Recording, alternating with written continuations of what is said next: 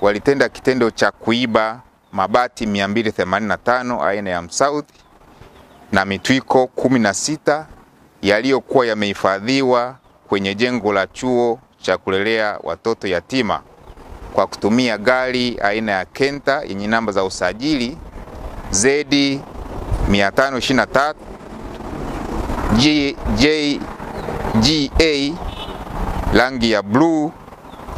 Mabati na mitwiko hiyo ina thamani ya kiasi cha Tanzania shilingi milioni saba laki tisa na elfu themanini mali ya kampuni ya JMB International Limited inayojenga chuo hicho.